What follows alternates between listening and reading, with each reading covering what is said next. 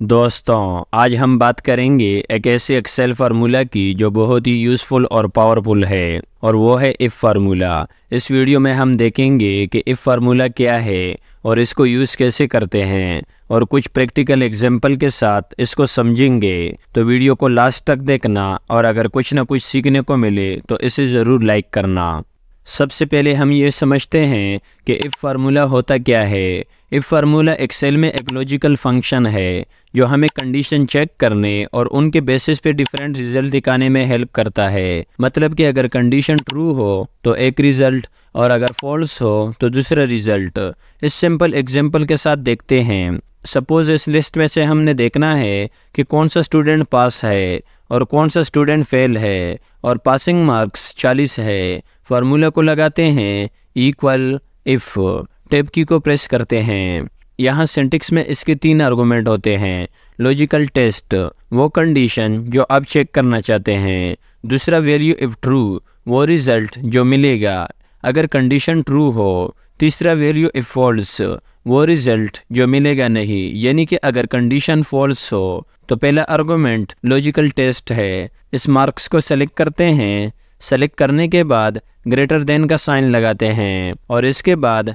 बराबर का साइन लगाते हैं हमें चेक करना है कि अगर ये वैल्यू 40 या 40 से ज़्यादा है, इसलिए बराबर और ग्रेटर देन का साइन लगाया कॉमा वैल्यू इफ़ ट्रू अगर ये वैल्यू 40 या 40 से ज़्यादा है तो क्या रिज़ल्ट आना चाहिए? पास तो डबल कोट्स में पास टाइप करते हैं। यहाँ पर एक बात नोट करना है कि एक्सेल में अगर आप किसी फार्मूला के अंदर टेक्स्ट को टाइप करते हैं तो हमेशा आपने उसे डबल कोट्स के अंदर टाइप करना है, वरना एक्सेल उसे ज़ीरो काउंट करेगा। तो अगर रिज़ल्ट ट्रू हो तो पास आना चाहिए। कॉमा वैल्यू इफ़ फॉल्स अगर ये वैल्यू मैच नहीं हो जाता, यानी कि 40 या 40 से कम हो तो रिज़ल्ट फेल आना चाहिए। तो डबल कोट्स के अंदर फेल टाइप करते हैं। फेल इसके बाद ब्रैकेट क्लोज और एंटर। तो ये फेल आ चुका है, क्योंकि ये वैल्यू 40 से कम है। बाकी की सेल में भी इसको ड्रैग करते हैं तो ये सारे सेल में फिल हो जाएगा। अब ये 70 है, पास आ रहा है। अगर मैं 70 की जगह 40 लिखूँ तो ये फिर भी पास है, क्योंकि यहाँ फार्मूला में हमने जो कंडीशन पास की है, उसमें ये बराबर का साइन भी है। अगर ये वैल्यू 40 से बड़ा या बराबर है तो ट्रू है। अगर मैं यहाँ से बराबर का साइन हटा देता हूँ और एंटर करता हूँ तो ये फेल हो चुका है, क्योंकि अब कंडीशन हो गई कि अगर ये वैल्यू 40 से ज़्यादा है तो पास वरना फेल तो ये आपको क्लियर हो चुका होगा। अब बढ़ते हैं और नेस्टेड इफ़ को समझते हैं। नेस्टेड एफ़ फार्मूला तब यूज़ होता है जब हमें मल्टीपल कंडीशन चेक करनी होती है। सपोज़ यहाँ हमने ग्रेड असाइन करना है स्टूडेंट को। 80 से ऊपर के परसेंटेज के लिए ए प्लस सेवेंटी से ऊपर के लिए ए 60 से ऊपर के लिए बी इस तरह से 40 से कम के लिए एफ़ तो यहाँ पर हम इस फार्मूला को निस्ट करेंगे ताकि मल्टीपल कंडीशन चेक हो। तो फार्मूला को यहाँ पर लगाते हैं इक्वल इफ़ टैब अब इस परसेंटेज को सेलेक्ट करते हैं। ग्रेटर देन इक्वल बड़ा है या बराबर है एटी के कॉमा डबल कोट्स में ए प्लस टाइप करना है। इसके बाद कॉमा अब दोबारा इफ़ फार्मूला को लगाना है। इफ़ टैब अब फिर से इस परसेंटेज को सेलेक्ट करते हैं। ग्रेटर देन इक्वल बड़ा या बराबर है सेवेंटी के कॉमा डबल कोट्स में ए को टाइप करना है। इसके बाद कॉमा फिर से इफ़ को लगाना है। इफ़ टैब अगेन इस देन को सेलेक्ट करते हैं।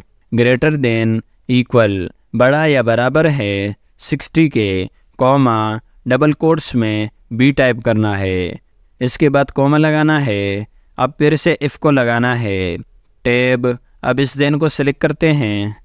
ग्रेटर देन इक्वल बड़ा या बराबर है। फिफ्टी के कॉमा डबल कोड्स के अंदर। सी टाइप करना है। इसके बाद कॉमा लगाना है और एक बार फिर से इफ़ को लगाते हैं। टैब, अब इस देन को सिलेक्ट करते हैं। ग्रेटर देन इक्वल बड़ा या बराबर है फोर्टी के। कॉमा डबल कोड्स में डी आना चाहिए। कॉमा अदरवाइज़ एफ़ आना चाहिए। यानी कि फेल। तो डबल कोड्स में एफ़ टाइप करते हैं। इसके बाद जितनी दफ़ा इफ़ को लगाया है, उतनी बार ब्रैकेट बंद करना है। ये एक, दो, तीन, चार, पाँच। तो पाँच दफ़ा यहाँ पर ब्रैकेट को क्लोज करना है और एंटर करना है। तो ये ए ग्रेड आ चुका है, क्योंकि ये 70 और 80 के दरमियान का वैल्यू है। अब इसको नीचे बाकी सारे सेल में फिल करते हैं, इस तरह से ड्रैग करके। तो आप देख सकते हैं कि सारे स्टूडेंट का ग्रेड आ चुका है। इस तरह से मल्टीपल कंडीशन के लिए नेस्टेड इफ़ का यूज़ है। अब यहाँ पर रिज़ल्ट निकालते हैं, इक्वल इफ़। टेब, अब इस परसेंटेज को सिलेक्ट करते हैं। ग्रेटर देन इक्वल बड़ा या बराबर है फोर्टी के कॉमा तो डबल कोड्स में पास लिखना है। कॉमा अदरवाइज़ डबल कोड्स में फेल लिखना है। ब्रेकेट क्लोज और एंटर तो पास आ चुका है। इसको भी बाकी के सारे सेल में फिल करते हैं। यहाँ तक आपको इफ़ और नेस्टेड इफ़ क्लियर हो चुका होगा और आप इसे अपने हिसाब से इसे मुख्तलिफ़ डेटा में अप्लाई कर सकते हैं। अब आगे बढ़ते हैं और इफ़ के साथ और एंड फार्मूला को समझते हैं।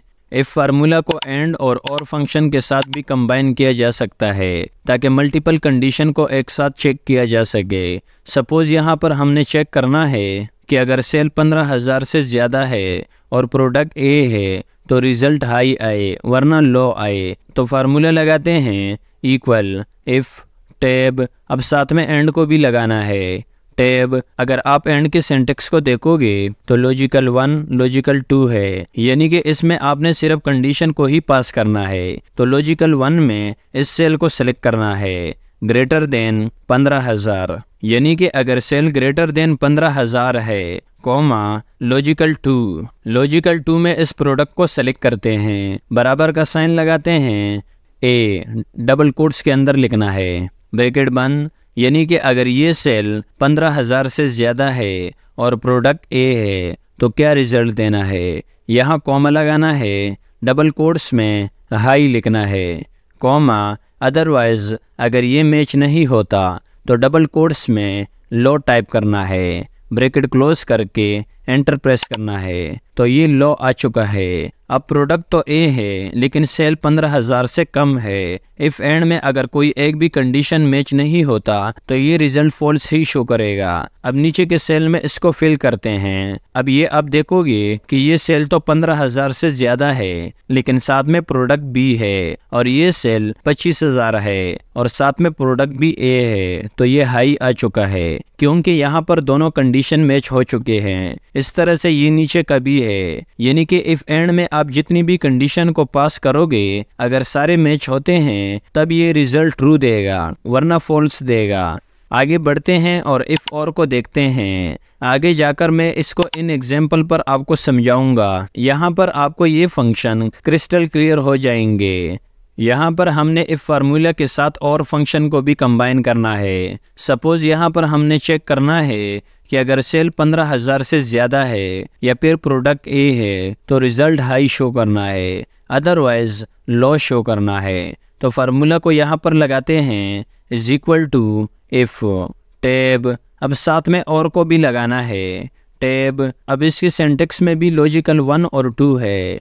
तो पहले इस सेल को सेलेक्ट करते हैं ग्रेटर देन पंद्रह हज़ार। यानी कि अगर ये पंद्रह हज़ार से ज़्यादा है, कॉमा, अब लॉजिकल टू है। लॉजिकल टू में इस प्रोडक्ट को सेलेक्ट करते हैं। बराबर डबल कोट्स में ए को टाइप करते हैं। यानी कि अगर ये रेंज बराबर हो ए के ब्रैकेट क्लोज करते हैं और कॉमा लगाना है। अब ये जो रेंज हमने सेलेक्ट की है, अगर इसमें कोई एक भी सेल या प्रोडक्ट मैच हो जाता है इस क्राइटेरिया के साथ तो वो ट्रू होगा। तो ट्रू में हमने क्या रिज़ल्ट दिखाना है? डबल कोट्स में लिखते हैं हाई कॉमा अदरवाइज़ अगर इसमें कोई एक भी मैच नहीं होता इस क्राइटेरिया के साथ, वो फॉल्स होगा। तो फॉल्स में हमने लो को दिखाना है। तो डबल कोट्स के अंदर लो को टाइप करना है।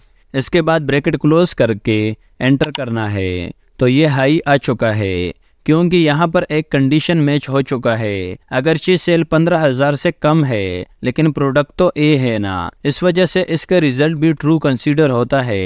अब इसको नीचे फिल करते हैं। अब ये आप देखोगे कि दो दिन ऐसे हैं जिनका दोनों कंडीशन मैच नहीं होते हैं। तो लो शो हो रहा है। तो इफ़ और फार्मूला में आप जितनी भी कंडीशन पास करते हैं, अगर उनमें कोई एक भी मैच हो जाता है तो रिज़ल्ट ट्रू होगा, वरना फॉल्स होगा। और इफ़ एंड में आप जितनी भी कंडीशन को पास करते हैं, अगर वो सारे मैच हो जाते हैं तो रिज़ल्ट ट्रू वरना फॉल्स होगा।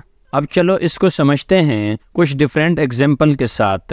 एग्ज़ाम्पल नंबर वन इस एग्ज़ाम्पल में एक कंपनी अपने सेल पर्सन को कमीशन देना चाहती है। उनके सेल के हिसाब से कंपनी ने एक टारगेट रखा है कि अगर किसी सेल पर्सन की तीनों प्रोडक्ट प्रोडक्ट ए और बी और सी तीनों की सेल पंद्रह हज़ार से ज़्यादा है तो उस सेल पर्सन को उसके टोटल सेल का पाँच परसेंट कमीशन दिया जाए। अदरवाइज़ कीप ट्राई अब यहाँ पर कंडीशन है कि तीनों प्रोडक्ट की सेल जब पंद्रह हज़ार से ज़्यादा हो तो इसके लिए हम यहाँ पर इफ़ एंड का यूज़ करेंगे।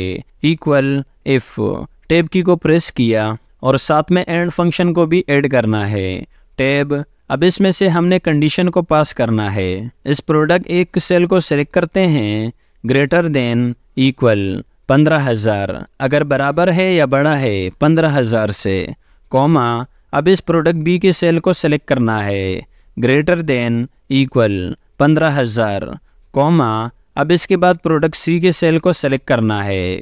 ग्रेटर देन इक्वल पंद्रह हज़ार, अगर बराबर है या बड़ा है, पंद्रह हज़ार के। अब ब्रैकेट को क्लोज करना है और कॉमा लगाना है। अब वैल्यू इफ़ ट्रू है। अगर ये सारे रेंज मैच हो जाते हैं तो क्या दिखाया जाए? तो यहाँ पर लिखा गया है कि उसको पाँच परसेंट कमीशन दिया जाए उसके टोटल सेल के हिसाब से। तो इस टोटल सेल को सेलेक्ट करते हैं। सेलेक्ट करने के बाद मल्टीप्लीकेशन का साइन लगाना है और साथ में फाइव परसेंट को ऐड करना है। इसके बाद कॉमा लगाना है। अगर इस रेंज में से कोई एक भी वैल्यू मैच नहीं होता तो उसके लिए कीप ट्राई शो कराना है। तो डबल कोड्स के अंदर लिखते हैं कीप ट्राई इसके बाद ब्रैकेट क्लोज करके एंटर करना है। तो ये इसका पाँच परसेंट के हिसाब से कमीशन आ चुका है, क्योंकि इस सेल पर्सन ने तीनों प्रोडक्ट में पंद्रह हज़ार से ज़्यादा की सेल की है। बाकी की सेल में भी इसको फिल करते हैं। अब इस पर्सन ने तीनों प्रोडक्ट में पंद्रह हज़ार से कम की सेल की है तो इसको कमीशन नहीं मिला। इस तरह से इस सेल पर्सन ने सिर्फ़ एक प्रोडक्ट की सेल पंद्रह हज़ार से कम की की है तो इसको भी कमीशन नहीं मिल सकता। अब इसी डेटा को एक दूसरे एग्ज़ाम्पल के साथ समझते हैं। अब यहाँ पर कंपनी ने एक टारगेट रखा है कि अगर किसी सेल पर्सन ने किसी एक भी प्रोडक्ट की सेल पंद्रह हज़ार से ज़्यादा की की है तो उसको उसके टोटल सेल का दो परसेंट कमीशन मिलेगा। अदरवाइज़ उसके सामने डोंट गिव अप डिस्प्ले हो। अब यहाँ पर कंडीशन है कि अगर तीनों प्रोडक्ट में से किसी एक की सेल भी पंद्रह हज़ार से ज़्यादा हो तो उसको कमीशन मिलेगा। तो इसके लिए हम यहाँ पर इफ़ और फ़ंक्शन का यूज़ करेंगे। फार्मूला लगाते इक्वल इफ़ टैब अब साथ में और फ़ंक्शन को भी ऐड करते हैं। टैब अब इन कंडीशन को पास करना है। प्रोडक्ट ए की सेल को सेलेक्ट करना है। ग्रेटर देन इक्वल बड़ा या बराबर है, पंद्रह हज़ार के कॉमा प्रोडक्ट बी के सेल को सेलेक्ट करना है। ग्रेटर देन इक्वल पंद्रह हज़ार के, इस तरह से प्रोडक्ट सी को सेलेक्ट करना है। ग्रेटर देन इक्वल पंद्रह हज़ार के अब ब्रैकेट क्लोज करना है और कॉमा लगाना है। अब वैल्यू इफ़ ट्रू है कि अगर इनमें कोई एक भी प्रोडक्ट की सेल पंद्रह हज़ार से ज़्यादा हो तो उसको उसके टोटल सेल का दो परसेंट कमीशन मिलना चाहिए। तो इस टोटल सेल को सिलेक्ट करते हैं, मल्टीप्लीकेशन का साइन लगाते हैं, दो percent. Comma, otherwise double quotes के अंदर डोंट गिव अप टाइप करना है। अब ब्रैकेट क्लोज करना है और एंटर प्रेस करना है। तो ये इस पर्सन की दो परसेंट के हिसाब से कमीशन आ चुका है। अब इसको बाकी की सेल में भी फिल करते हैं। तो एक पर्सन ऐसा है जो तीनों प्रोडक्ट में से किसी एक में भी पंद्रह हज़ार से ज़्यादा की सेल नहीं कर पाया है। इसलिए उसके सामने डोंट गिव अप आया है। तीसरा एग्ज़ाम्पल इसका समझते हैं। अब ये कुछ एम्प्लॉय का डेटा है, जिनका डिजिग्नेशन बेस पे इंक्रीमेंट लगाना है। जैसे कि मैनेजर का 30 परसेंट है admin 25 percent incharge 23 percent operator 20 percent और इस तरह से हेल्पर का 15 परसेंट है। तो इसके लिए यहाँ पर निस्टेड इफ़ फ़ंक्शन का यूज़ करेंगे। Is equal to if tab अब इस पहले एम्प्लॉय के डिजिग्नेशन को सिलेक्ट करते हैं। अब बराबर का साइन लगाना है और साथ में डबल कोड्स के अंदर टाइप करते हैं मैनेजर अब कोबा लगाना है कि अगर ये सेल बराबर है मैनेजर के तो उसकी सैलरी में थर्टी परसेंट इजाफा हो। तो इस सैलरी को सेलेक्ट करते हैं मल्टीप्लिकेशन का साइन लगाते हैं और थर्टी परसेंट कॉमा फिर से इस फार्मूला को लगाते हैं। टैब। अब इस डेजिग्नेशन को फिर से सेलेक्ट करते हैं। बराबर का साइन लगाते हैं और डबल कोर्स के अंदर एडमेन लिखते हैं।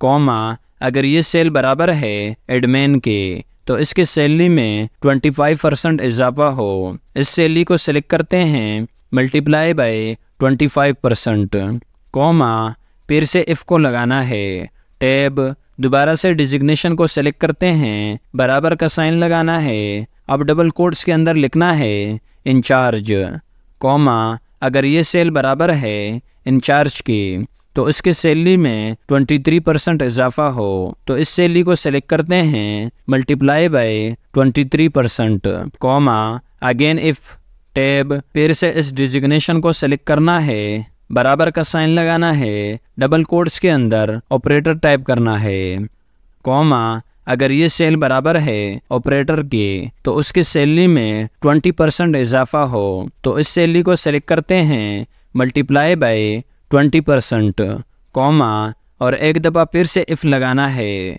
टैब डिजिग्नेशन को सेलेक्ट करना है कॉमा अगर ये सेल बराबर है हेल्पर के तो उसकी सैलरी में पंद्रह परसेंट इजाफा हो, इस सैलरी को सेलेक्ट करते हैं मल्टीप्लाई बाय पंद्रह परसेंट कॉमा अदरवाइज़ जितनी भी एम्प्लॉय है, उन सब की सैलरी में तेरह परसेंट इजाफा हो तो इस सैलरी को सेलेक्ट करते हैं मल्टीप्लाई बाय तेरह परसेंट।